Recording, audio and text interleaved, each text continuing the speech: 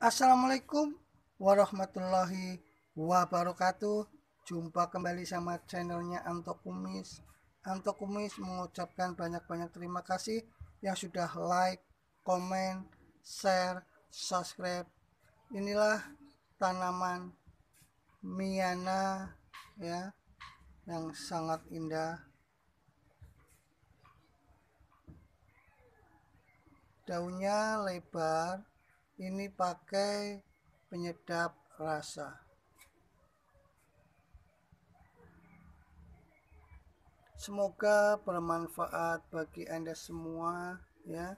Video sebelumnya sudah pernah upload bagaimana cara menanamnya ya. Semoga bermanfaat bagi anda semua. Pecinta tanaman jangan lupa di like di komen di subscribe assalamualaikum warahmatullahi wabarakatuh